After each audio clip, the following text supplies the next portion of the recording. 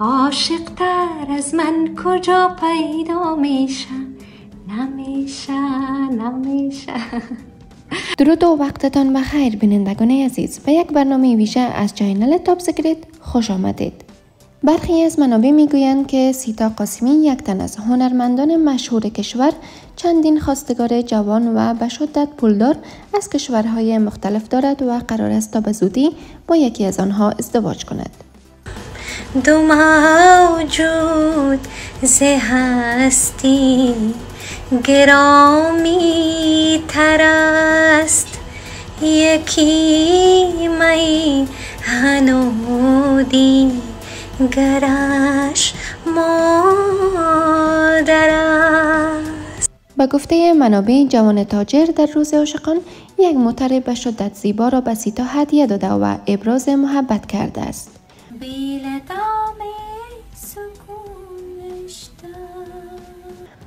سیتا قاسمی که در ابتدای نوجوانی وادار به ازدواج با یک مرد پیر شده و سرانجام مجبور به جدایی گردید همکنون قرار است تا عروس یکی از پولدارترین و زیباترین جوان تاجر گردد.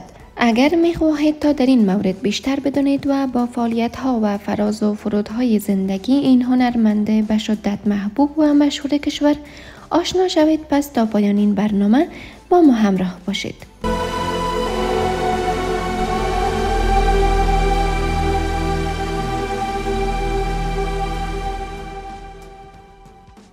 سیتا قاسمی یکی از چهره های مطرح زن در حوزه موسیقی افغانستان است. او در ششم اپریل سال 1983 در ولسوالی غوربند ولایت پروان از پدر و مادر تاجک تبار متولد شده است. السلام علیک هموطن ایدت مبارک ایدت مبارک هموطن ایدت مبارک به دنبال تسلط دور اول طالبان بر کشور او 14 سال سن داشت که همراه با خانواده کشور را ترک کرده و به پاکستان رفت. در این هنگام پای فاروق کریمی در زندگی این دختر نوجوان افغان کشیده شد. فاروق کریمی پسر مامای سیتا قاسمی است که در حدود سی سال با سیتا قاسمی تفاوت سنی دارد و در آن زمان او 58 سال سن داشته و سیتا قاسمی هم 14 ساله بوده است. با گفته سیتا قاسمی به دنبال اصرار نزدیکانش او با پسر مامای 58 سالش ازدواج کرد و راهی کشور آلمان شد. پس از ده سال زندگی و آوردن دو فرزند دختر و پسر او با فاروق کریمی شوهر و پسر مامایش به شدت دچار اختلافات خانوادگی شد و فاروق کریمی ادعا کرد که سیتا قاسمی با ورود به آلمان خود را فراموش کرده و از دین اسلام خارج شده و به دین مسیحیت پیوسته است. سیتا قاسمی اما این گفته ها را رد کرده و تفاوت سنی و چندین موضوع دیگر از جمله سه ازدواج ناموفق فاروق کریمی را عامل اصلی جدایش با فاروق کریمی عنوان نمود. که مادر زیبا فرست و دنبال جدایی از شوهر سیتا قاسمی آوازخانی را شروع کرده و همکنون به یکی از چهره های به شدت مطرح و پرطرفدار در میان مردم و جوانان تبدیل شده است.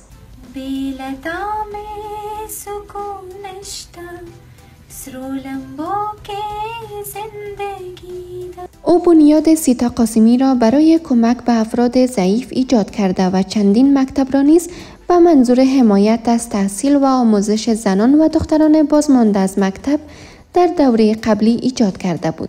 باید کار کنیم که اونا مکتب برن چون جامعه سازان وطن ما هستند برخی از منابع از ازدواج دوم وی نیز سخن گفته و مدعیند که او چند قبل با یک سارنوال در حکومت پیشین ازدواج کرده و این ازدواج نیز به سرانجام نرسیده و آنها پس از چند مدت زندگی با همدیگر به این پیوند نقطه پایان گذاشتند. طاقت ندارد دلم دلم بی تو چی کنم این موضوع البته از سوی سیتا قاسمی تایید نشده است. همکنون اما گزارش های تازه به گوش می رسد که سیتا قاسمی قرار است تا به زودی با یک جوان تاجر و به شدت پولدار و مقبول ازدواج کند. من آمدم که ناز بنیاد کند من آمدم وای گفته می شود که این جوان تاجر کمک های زیادی را به بنیاد سیتا قاسمی کرده و در این بخش نیز با وی هم کار بوده است.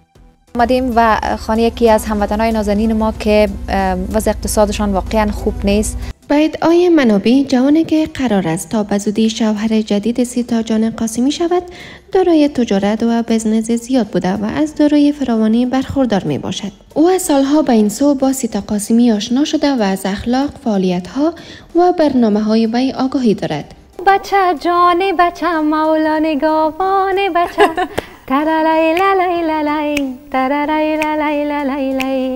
منابع در مورد اینکه این تاجر از کدام کشور است می‌گوید که این جوان تاجر یک جوان تاجر افغان است.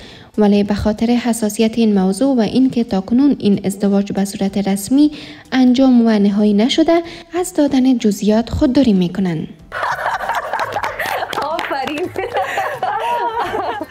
منابع می‌گویند که اگر این پیوند انجام شود قطعا سیتا قاسمی هم عکس ها و یا شاید ویدیوهای آن را منتشر نماید.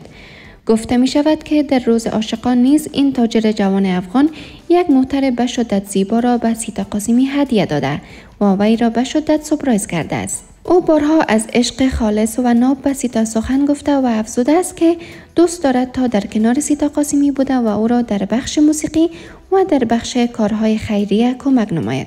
خودم و فامیلم همچنان مقدار پول را جمع آوری کردیم. از خود ما او گفته است که می‌خواهد تا همانند حسیب ساید که همانند کوه در پشت آریانا سعید ایستاده و از وی حمایت کرده است از سیتا قاسمی حمایت نموده و او را در فعالیت ها و برنامه هایش یاری نماید.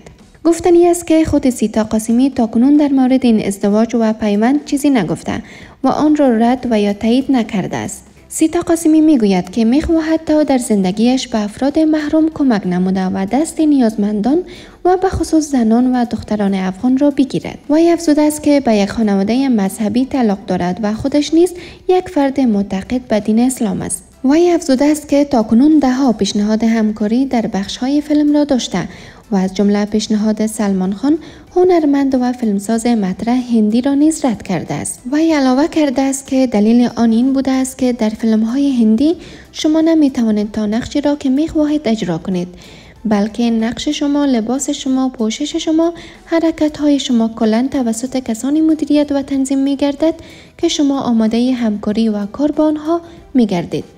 امیدواریم که این بار این زندگی شخصی سیتا قاسمی به سرانجام نیک برسد و تمامی شهروندان ما در هر کجایی که هستند شاد و آرام و خوش باشند. تا برنامه های بعدی الله یار و نگهدارتان.